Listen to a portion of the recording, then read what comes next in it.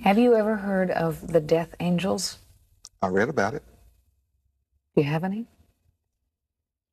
I have any? No. Yahweh has plenty.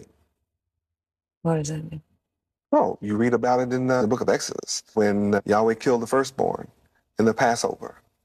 Uh, somebody did it, and it was those under his charge that did it. If we kill people who criticize us, then the media would all be dead. We wouldn't have to worry about negative publicity because all of you would be dead. So the very fact that all who criticize us are not dead makes that a lie. If you hinder me, if anyone hinders me or hinders my work, then my Father Yahweh has written in his holy word that he will consume those who oppress me or those I come to So you mean the wrath of God is going to be upon us? without question. Judgment will be set without question. Former members